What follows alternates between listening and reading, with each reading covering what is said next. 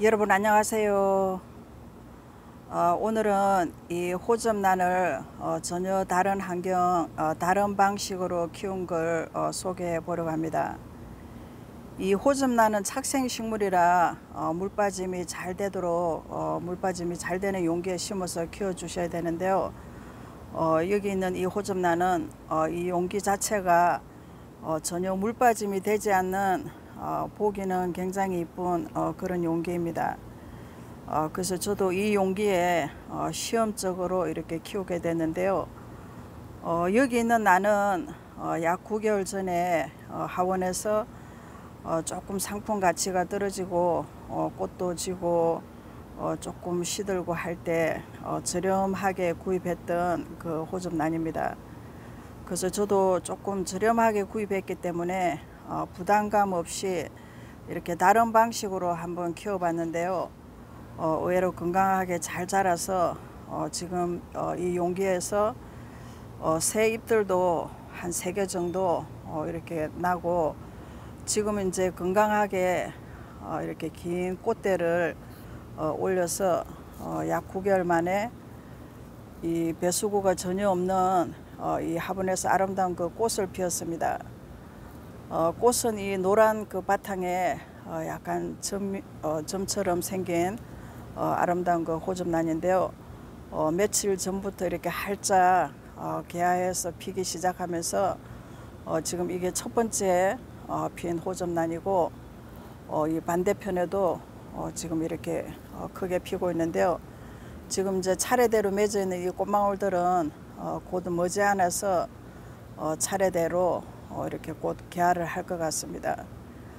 어, 호접란은 어, 또 꽃이 한번 피게 되면은 어, 굉장히 오래 가게, 어, 가는데요. 이 호접란에 또 어, 오랫동안 꽃이 피는 게 호접란의 매력입니다. 어, 지금 이제 이 용기 자체가 어, 저도 이제 시험적으로 이 어, 호접란을 어, 전혀 물 빠짐이 되지 않는 용기에서 키웠기 때문에 어, 조금 모험이었는데요. 어, 의외로 이 물빠짐이 되지 않는 이 용기에서 어, 건강하게 어, 키울 수 있었던 것은 어, 제일 중요한 게 어, 물주기인 것 같습니다. 어, 보통 이 호접란은 어, 물빠짐이 잘 되고 또 이 통풍이 잘 되는 그런 환경에서 키워야 되는데요.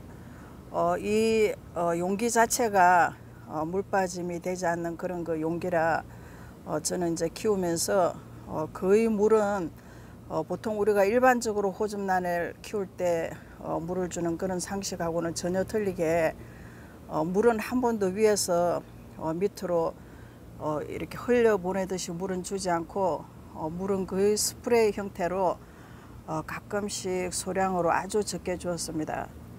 그래서 지금 보시면은 어, 이 뿌리가 이렇게 밖으로 노출되어 있는데요. 어, 이쪽에도 그렇고 어, 이쪽에도 그렇고 어, 뿌리는 거의 노출되어 있는 편입니다. 어, 그리고 이 어, 용기 자체가 어, 물 빠짐이 되지 않는 환경이라 맨 아래는 어, 하산석 어, 돌을 깔아 주었고요.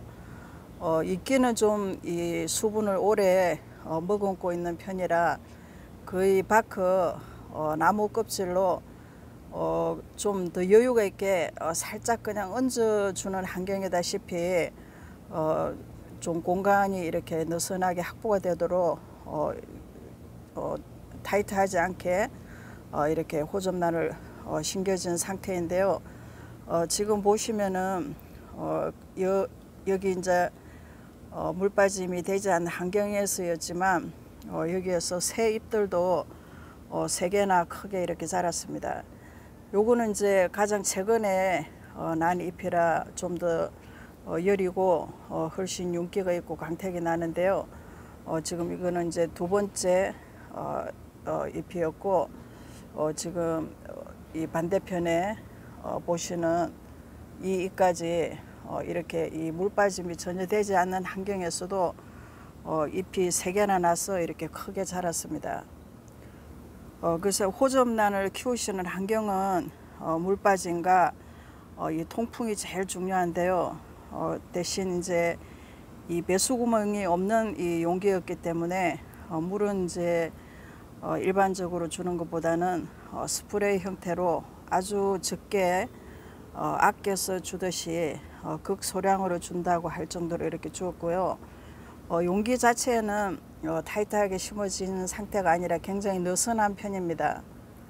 어, 그리고 이제 그 영양제를 어, 줄 때도 어, 액체로든 그 10개 희석한 영양제를 어, 역시 그 스프레이 형태로 어, 가끔씩 어, 위에서 어, 조금씩 어, 우리가 어, 아침 이슬 내리듯이 어, 조금씩 주는 형태로 어, 물을 주었기 때문에 어, 이 매수가 되지 않는 용기였지만 어, 가습은 되지 않고 잘 자란 것 같습니다.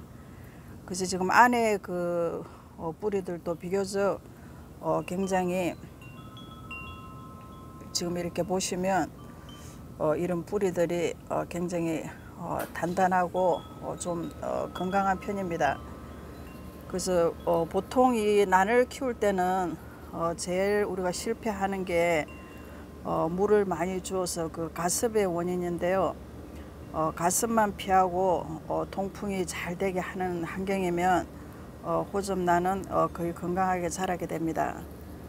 어, 그래서 저도 이제 이 용기 자체가 어, 굉장히 이쁘고 해서 어, 좀 시험적으로 어, 이렇게 처음으로 배수구 없는 화분에 어, 키워봤는데 의외로 굉장히 건강하게 자라고 어, 또 여기에서 어, 새 잎들도 어, 이렇게 많이 나고 해서 어, 굉장히 건강한 편입니다.